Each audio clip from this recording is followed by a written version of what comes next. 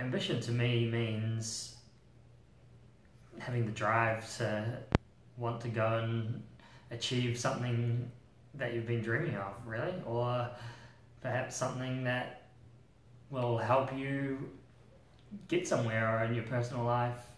Yeah, just achieve some some cool thing. So, are you ambitious?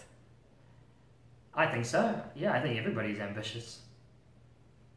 Why do you think you're this way? I think hu- it's human nature to be ambitious. I think we all have different levels of ambition. It's a very subjective topic, I think, ambition. I mean, some people have ambition to move to New York and be a music journalist, such as I do, and some people have ambition to follow in the footsteps of their father and work on the family farm. You know? um, so, yeah, I think why why am I that way? That was the question, wasn't it? Mm-hmm. Yeah. Why am I that way? I think. Well, actually, I don't know if I can answer that question really because I don't come from a family that's done the same thing that I've done. I think perhaps I'm this way partly because I met my partner Sarah and she kind of pushed me kind of in this direction and it made me realize that it was something I really wanted to do um, and go on this journey. And I just keep going on this journey and I don't really see why I'm on the journey, perhaps, but it's just something that continues for me. The most ambitious person I know, it's I know a lot of ambitious people in California, um, and there are people that are constantly doing things.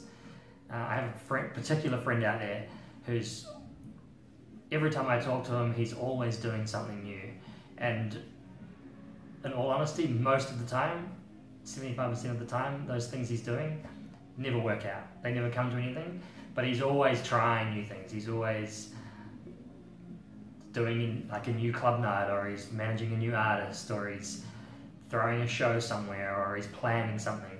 And I think that's pretty ambitious, um, especially in the face of so much failure too. I guess in a lot of other people's eyes, I am ambitious. I have had people before before refer to me as being ambitious. I lived in Australia for a while, and I, I remember very vividly one person I worked with who was very interested in music journalism and sort of the things I I do for a living and whatnot. And she was always telling me about how ambitious I was, and she was very amazed that I'd moved to Australia, which I found quite amusing actually. Um, but yeah, say in the eyes of other people, I think they see me as ambitious, and I think a lot of people see Kiwis that live overseas as being ambitious. But yeah, to me personally, it's just the, the way I am.